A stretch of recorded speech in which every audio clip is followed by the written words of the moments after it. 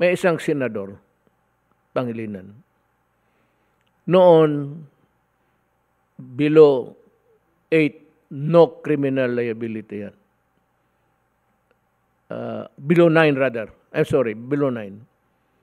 Above 9, under 12, may, tignan ng fiscal o ano, if there is really malice or a violent character.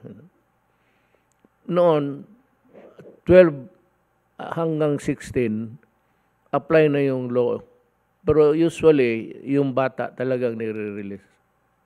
Here comes Pangilinan. No? You know what the guy did?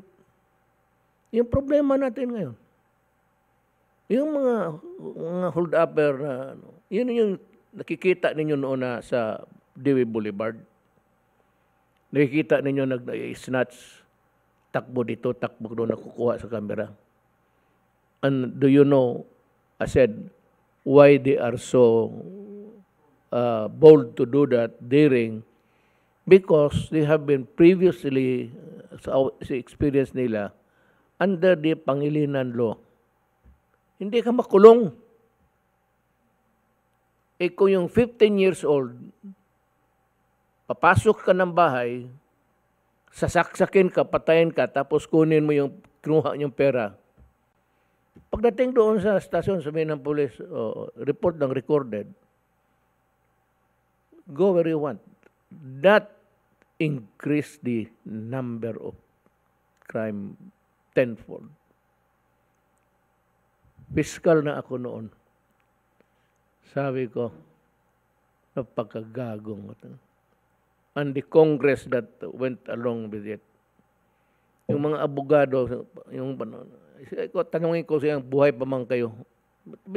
Yung members of the Congress, hindi ba ninyo binasa ng gusto yan? Kaya doon nagsimula ang pulis na magsabi, ah, minor yan, huwag yan. Hindi yan. Kaya lumalaban. Even if it's a minor, and it's, it's a, a, a grievous offense, dadalhin talaga sa estasyon yan for recording. Kasi may complainant eh. Hindi mo pwedeng bitawan dyan na basta-basta palakarin mo lang even if they are minors, and be, but even if there is a Pangilinan law. Actually, wag kayong bumoto. May, ang, dalawa lang yan. Gordon pati Pangilinan. Matagal na yan dyan sa Senado. Tanggalin ninyo yan. Kaya talaga ang mga ito siguro si uh, pareho lang utak